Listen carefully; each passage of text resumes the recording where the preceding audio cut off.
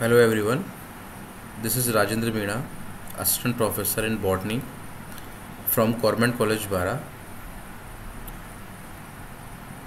विद्यार्थियों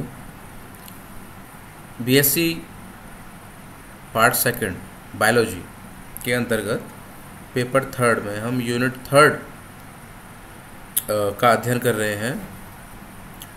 उसमें आज हम पर्ण की आंतरिक संरचना का अध्ययन करेंगे। जैसा मैंने आपको पिछले लेक्चर्स में बताया है कि बच्चों डाइकोट्स और मोनोकोट्स में अलग अलग प्रकार की जो है पर्ण पाई जाती हैं।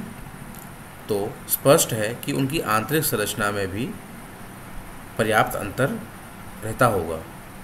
तो इस लेक्चर के माध्यम से हम एक बीजपत्री और द्विबीजपत्री पादपों की जो पर्ण है, उनकी आंतरिक संरचना का अध्ययन करेंगे। और अगले लेक्चर में हम एक बीजपत्री और द्विबीजपत्री पादपों की जो पर्ण होती हैं, उनमें क्या डिफरेंसेस पाए जाते हैं, क्या अंतर होते हैं, क्या विभेदन पाया जाता है, उसका हम अध्ययन करेंगे। ठीक है बच्चों? तो आज का जो लेक्चर है, वो हम स्टार्ट करते हैं। स्क्रीन शेयर कर रहा हूँ मैं।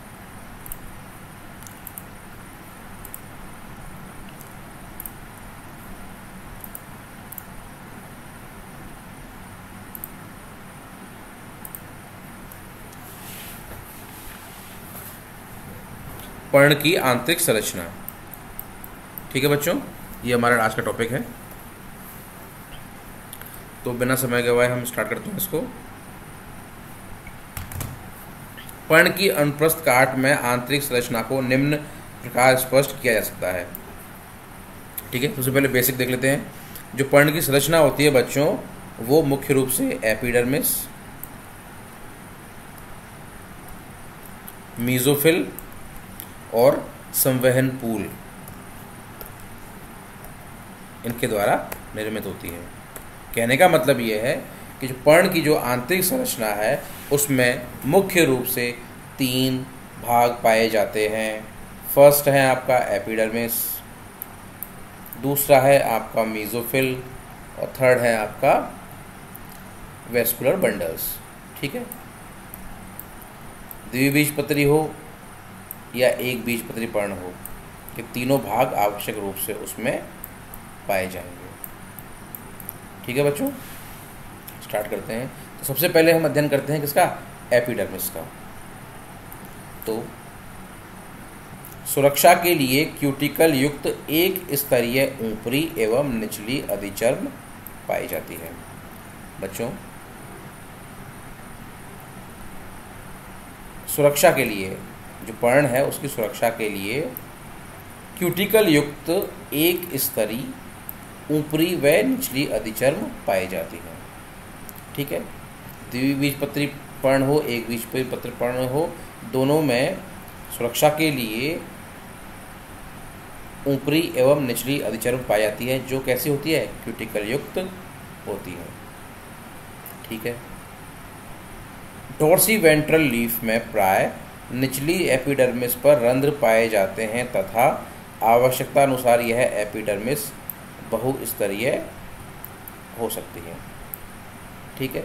जो बच्चों, डोर्सी वेंट्रल लीफ होती है, हमने पहले पढ़ा है, डोर्सी वेंट्रल लीफ मतलब कष्टाधारी पर्ण जो कि आपके बीज द्विबीजपत्री पादों में पाई जाती है। उसमें क्या है? जो उसकी निचली अधिचर्म होती है, उस पर रंध्र पाए जाते हैं और यह आवश्यकता अनुसार बहुस्तरीय भी हो सकती है कुछ पादपों में। ठीक? जबकि आइसोबाइलेटरल लीफ में रंध्र प्राय दोनों एपिडर्मिस पर, यानी कि ऊपरी और निचली दोनों एपिडर्मिस पर पाए जाते हैं। तथा यह ऊपरी एपिडर्मिस बड़े आकार की पतली भित्ति युक्त कोशिकाओं की उपस्थिति को भी प्रकट करती है। यह विशेष प्रकार की जो कोशिकाएँ हैं बुलीफॉर्म कोशिकाएँ कहलाती हैं। यह बुलीफॉर्म कोशिकाएँ वाष्पोत्सर्जन का नियंत्रण करने में सहायता प्रदान करती हैं। ठीक है? इस स्लाइड से हमने क्या समझ में आया? एपिडर्मिस है द्विबीज पत्री एक बीज पत्री पर्ण हो दोनों में पाई जाएगी, सुरक्षा के लिए होती है क्यूटिकल युक्त होती है, ऊपरी और निचली अधिचरण के रूप में पाई जाती है। लेकिन जो पृष्ठधारी पर्ण होती है, उसमें निचली एपिडर्मिस पर रंध्र अधिक संख्या में पाए जाते हैं और ये आवश्यकता अनुसार एपिडर्मिस जो है मल्टी लेयर्ड भी हो सकती है। फ़र्स्ट। सेकंड जो आइसोबायोलेट्रल है अथवा जो एक बीजपत्री पर्ण है, उसमें रंध्र प्राय दोनों स्थान, दोनों एपिडर्मिस पर बराबर बराबर पाए जाएँगे। लेकिन इसमें क्या होता है, इसमें जो ऊपरी एपिडर्मिस होती है बच्चों, उसमें क्या है, बड़े आकार की पतली वित्त युक्त कोशिकाओं की उपस्थिति भी पाई जाती है, जिन्हें कहते हैं बुलीफॉर्म सेल्स आवर्धक कोशिकाएँ। ठीक है, यह बुलीफॉर्म कोशिकाएँ क्या करती है, वाष्पोत्सर्जन का नियंत्रण करने में सहायता प्रदान करती है, वाष्पोत्सर्जन का नियंत्रण करने का महत्वपूर्ण कार्य करती हैं। ठीक है, अब जो एपिडर्मिस है उस, बच्चों, उसको हम डायग्राम के थ्रू समझ लेते हैं। ठीक? इससे हम समझते हैं, बच्चों, ये है डॉर्सी वेंटर लीव ये दोनों डायग्राम जो है, फ़र्स्ट और सेकंड, ये दोनों डॉर्सी वेंटर लीव का है। तो हमने क्या बोला था? क्यूटिकल युक्त एक परतीय संरचना पाई जाती है जो कि सुरक्षा काम करती है। ये हो गई ऊपरी और ये होगी बच्चों निचली अधिचर्म ठीक है? निचली अधिचर्म हमने क्या बोला था? हम डोर्सी वेंटर लीफ की बात कर रहे हैं तो निचली अधिचर्म पर रंध्र पाए जाते हैं। देखिए ये रंध्र। स्टो स्टोमेटा। ठीक है?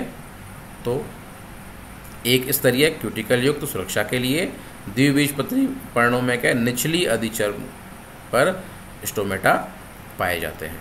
ठीक? ये बात होगी एपिडर्मिस की द्विबीजपत्रियों में, यानी डोर्सी वेंटर लीफ में। अब एक बीज बीजपत्री पादपों में देखिए। ये मोनोकोट लीफ का उदाहरण है। तो इसमें क्या है? एक एक परतीय क्यूटिकल युक्त अपर और लोअर एपिडर्मिस पाई जाती है। ठीक है? इसमें दोनों तरफ़ जो रंध्र होते हैं, बराबर बराबर होते हैं। ठीक है? मान लीजिए ये रंध्र है तो नीचे भी रंध्र पाए जाते हैं। ठीक है? लेकिन अब इसमें क्या होता है? इसमें दिखा नहीं रखा है बच्चों। जो मोनोकॉट लीफ होती है आइसोबायोलेटर लीफ होती है, उसमें जो अपर एपिडर्मिस है, वहाँ पर कुछ कोशिकाएँ मोटी हो जाती है फूलकर। है ना?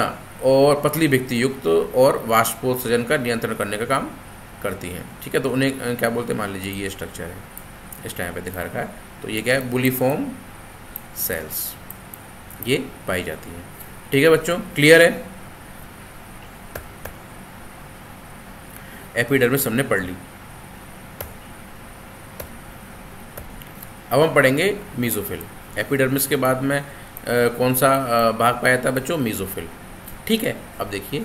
यह दोनों एपिडर्मिस के मध्य संवहन क्षेत्र के अतिरिक्त पाए जाने वाला हरित लवक युक्त कोशिकाओं से निर्मित क्षेत्र होता है। कितनी बातें जो है इसने एक साथ बोल दी है।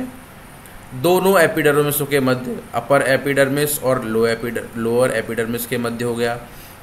ठीक है, उसके मध्य संवहन क्षेत्र को छोड़कर अपर एपिडर्मिस और लोअर एपिडर्मिस और ये रहे संवहन क्षेत्र। ठीक है? इसको छोड़कर जो सारा का सारा जो स्थान है बच्चों, ठीक है? ये जो है, जो भी है, ये क्या कहलाएगा आपका? मीजोफिल ये हो गया वेस्कुलर बंडल ये हो गया अपर एपिडर्मिस ये हो गई लोअर एपिडर्मिस और इनके मध्य संवहन क्षेत्र को छोड़कर पाए जाने वाला जो स्थान है, वो क्या कहलाएगा? आपका मीजोफिल और ये मीज़ोफिल जो है, हरित लवक युक्त होता है। बहुत इंपॉर्टेंट है ये। इसको याद रखिएगा। ठीक है? प्रकाश संश्लेषण की प्रक्रिया मीज़ोफिल में होती है। अब देखिए आइसोबायोलेट्रल यानी कि जो एक बीज पत्रीय पर्ण होती है, उसमें यह समान प्रकार की कोशिकाओं से निर्मित होता है, जिनके मध्य अंतर कोशिकीय अवकाश अल्प मात्रा में पाए जाते हैं। बच्चों, बहुत इंपॉर्टेंट है ये। जो एक बीज पत्री पर्ण होती हैं या आइसोबायोलेटरल पर्ण होती हैं, उसमें मीज़ोफिल में किसी भी प्रकार का विभेदन नहीं पाया जाता है। वो खम्भ ऊतक और स्पंजी ऊतक में बटा हुआ नहीं होता है। एक बात, दूसरी बात है, इनके मध्य अंतर कोशिकीय अवकाश अल्प मात्रा में पाए जाते हैं। देख लेते हैं। ये देखिए बच्चों, ये जो है मोनोकोट लीफ है, ठीक है? तो ये ग्रीन जो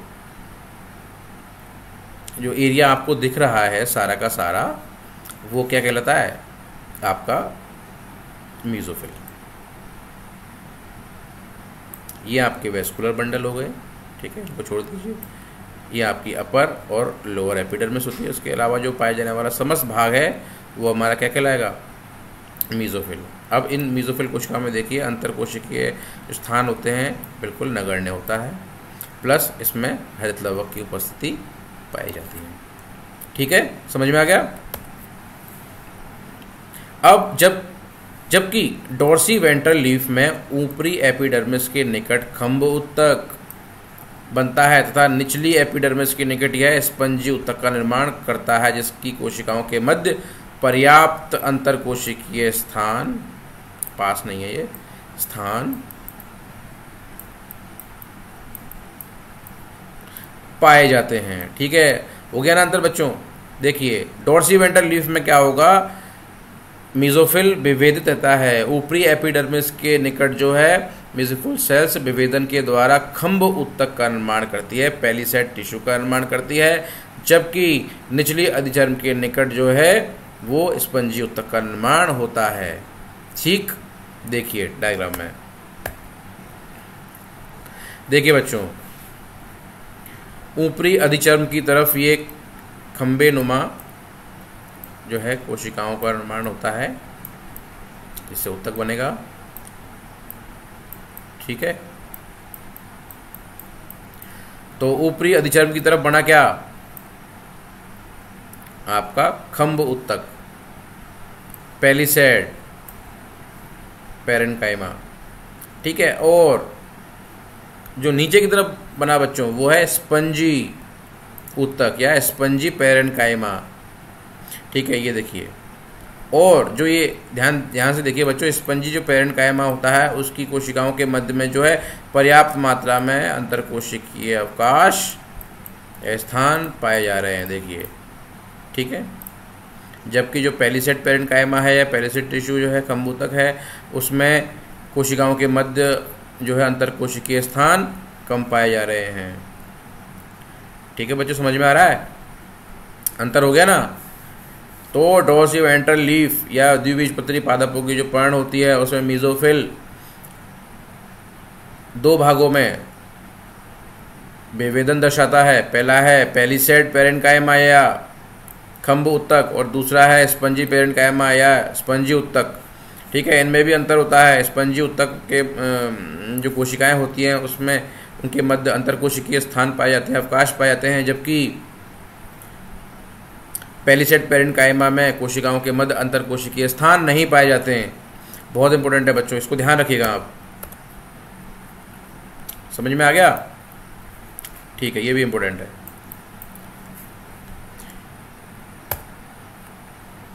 वनस्पति शास्त्र बोरिंग नहीं है, ठीक है? इसको आप इंटरेस्ट से पढ़िए। नेक्स्ट है संवहन पूल। पर्ण के शिरा क्षेत्र में संवहन ऊतक पाए जाते हैं। यह व्यवस्थित होकर संवहन ऊतक का निर्माण करते हैं। इसमें ऊपरी सतह की ओर जाइलम तथा निचली सतह की ओर फ्लोएम अवयव पाए जाते हैं। यह बंडल शीत से सुरक्षित रहते हैं। ठीक है, इसको समझेंगे अभी। अब देखिए, डोरसी वेंट्रल लीफ में असमान आकार के संवहन पूल पाए जाते हैं तथा इनके पूलाच्छद विस्तार मृदुत्व की कोशिकाएँ के बने होते हैं, जबकि आइसोबायोलेटरल लीफ में यह समान आकार के संवहन पूल प्रकट करती है, जिनके पूलाच्छद विस्तार दृढ़ होते हैं। ठीक है? अब समझिए। पर्ण के शिरा क्षेत्र में संवहन तक पाए जाते हैं। पर्ण की संरचना अपन ने देखी थी बच्चों भायाकार की, जिसमें कि एक मिड रिब थी और उस मिड रिब से कई वेंस निकल रही थी, जो कि संवहन आपूर्ति को दर्शाती हैं। ठीक है तो संवहन ऊतक क्या है? व्यवस्थित होकर संवहन पूल का निर्माण करेंगे, ये ऊतक नहीं है। संवहन पूल है ये। पूल है। इसमें ऊपरी सतह की ओर जाइलम तथा निचली सतह की ओर फ्लोएम पाया जाता है। ठीक है एक्स अपॉन पी कंडीशन इसमें पाई जाती है। अर्थात बाहर की तरफ़ या ऊपरी तरफ़ जाइलम होगा और निचली तरफ़ जो है फ्लोएम अवयव पाया जाएगा। एक्स अपॉन पी की जो है संरचना पाई जाती है। और इन जाइलम और फ्लोएम ये जाइलम फ्लोएम इनके चारों ओर एक विशिष्ट प्रकार की संरचना मिलती है। सॉरी जिसे हम बोलते हैं बंडल शीत ठीक है? ओके अब काम की बात आई। डोर्सी वेंट्रल लीफ में असमान आकार के संवहन पूल पाए जाते हैं और पूलाछद विस्तार यानी कि जो बंडल शीत होती है, वो पेरेंट कायमेटस सेल्स की बनी होती है। देख लेते हैं।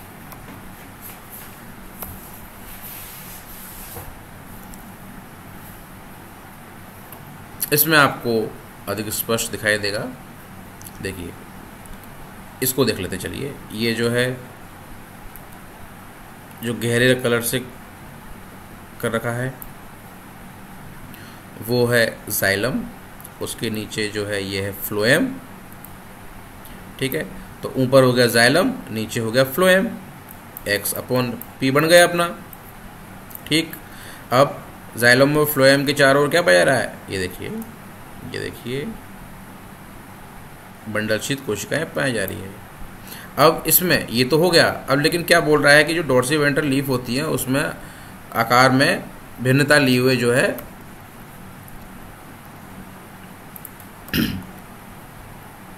संवहन पूल पाए जाते हैं। मतलब संवहन पूल जो है आकार में असमान होते हैं अलग अलग होते हैं। देखिए, एक संवहन पूल ये है, ये आकार में बड़ा है। ठीक, दूसरा संवहन पूल देखिए, आकार में छोटा है, ठीक है? स्ट्रक्चर वही मिलेगी एक्स अपॉन पी की, हर में। एक्स अपॉन पी मिलेगा, लेकिन जो है आकार में भिन्नता दर्शाएगा। प्लस बहुत महत्वपूर्ण, जो जो बंडल शीत होती है, वो पेरेन कायमेटस होती है। पेरेन कायटस पेरेन कायमेटस सेल्स की बनी होती है, बहुत इंपॉर्टेंट है ये। ठीक है बच्चों? पेरेन कायमेटस सेल्स की बनी होती है। द्विबीजपत्री पादपों की पर्ण में या ड्रोनसी वेंट्रल लीफ में, ठीक है? और आइसोबायोलेटरल में क्या पढ़ा हमने?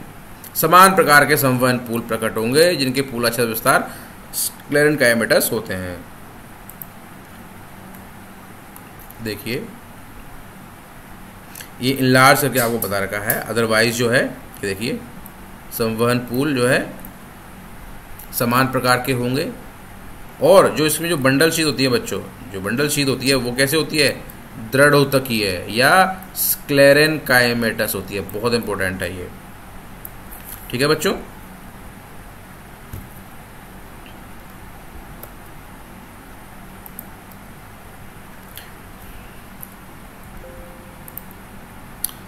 तो आज के इस लेक्चर में हमने पर्ण की आंतरिक संरचना का अध्ययन किया आइसो बायोलेटरल लीफ और डोर्सीवेंट्रल लीफ की संरचना कैसे होती है, क्या उनमें अंतर पाए जाते हैं, इसका अध्ययन जो है बच्चों, हम नेक्स्ट जो है लेक्चर में करेंगे। वीडियो देखने के लिए धन्यवाद थैंक यू